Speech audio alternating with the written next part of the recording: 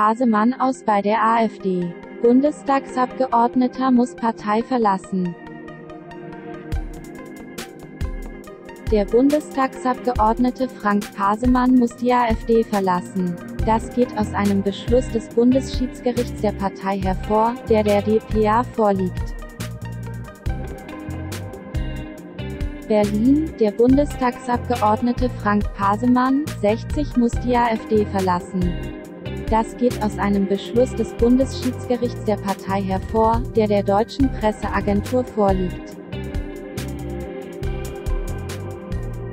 Pasemann gehört dem Kreisverband Magdeburg an. Er wird dem vom Verfassungsschutz als rechtsextrem eingestuften Flügel zugerechnet, der sich im Frühjahr formal aufgelöst hatte.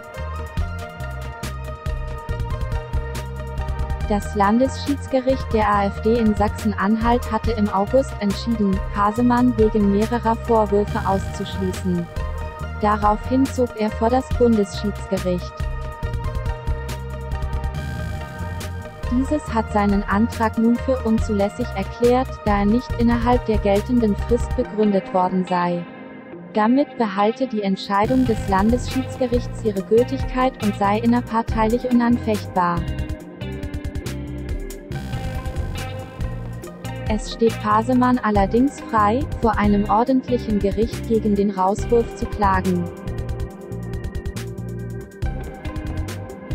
Das Bundesschiedsgericht der Partei gab ihm in seinem Beschluss noch den Hinweis mit, bereits eine kursorische Prüfung des erstinstanzlichen Urteils habe ergeben, dass auch in der Sache selbst das Bundesschiedsgericht nicht anders hätte entscheiden können.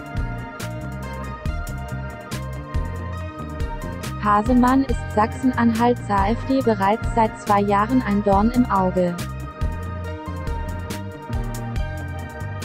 In Sachsen-Anhalt versuchte die AfD, Hasemann bereits 2018 loszuwerden. Damals lehnte der Bundesvorstand ab. Im zweiten Anlauf setzten sich Pasemanns Gegner durch. Sie beantragten den Rauswurf unter anderem, weil der 60-Jährige eineinhalb Jahre lang seine Mandatsträgerabgabe nicht gezahlt haben soll. Zudem werfen sie ihm parteischädigendes Verhalten und Antisemitismus vor. Hasemann hatte im Februar über ein Foto des früheren Vizechefs des Zentralrats der Juden, Michael Friedmann, der ewige Friedmann, geschrieben.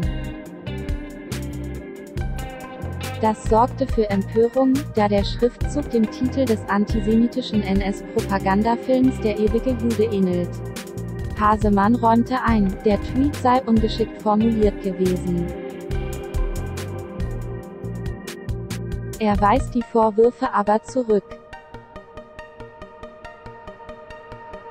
Die Schwere der Entscheidung des Landesschiedsgerichts könne er so nicht nachvollziehen, da es sich bei dem Verfahren augenscheinlich um eine personalpolitisch motivierte Kampagne gegen meine Person handelt, teilte Pasemann im Sommer mit Blick auf seinen Rauswurf mit.